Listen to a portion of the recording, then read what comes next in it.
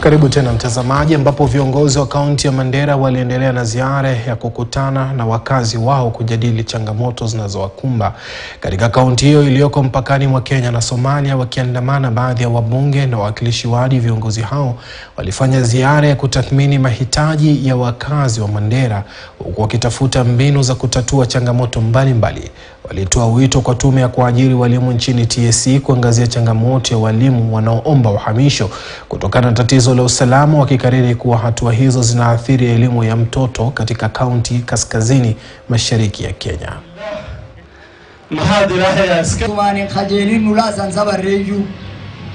Mimi ningependa kuambia TSC wachukulie hatua walimu wale, na kisha baada ya kuchukulia wao hatua wahakikishe kwamba zile nafasi ambazo hao walimu wameziacha zimekuwa recruited haraka, ili wanafunzi wetu, watoto wetu katika Mandera County wasikose masomo, kwa sababu masomo ni basic human rights. Shukuru officers wetu wa usalama.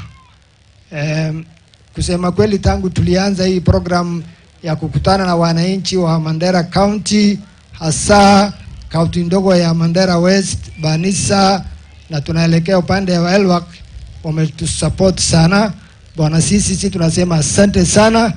Mambo ambayo ni ya kufurahisha zaidi, ambao sisi kama viongozi tunashukuru Mwenyezi Mungu, ni mambo ya maambatano kati ya jamii yetu jirani hapa Ethiopia pamoja na Malkamari hapa Kenya, ambao imekuwa miaka mingi wamekuwa na shida mingi sana ya mambo ya usalama.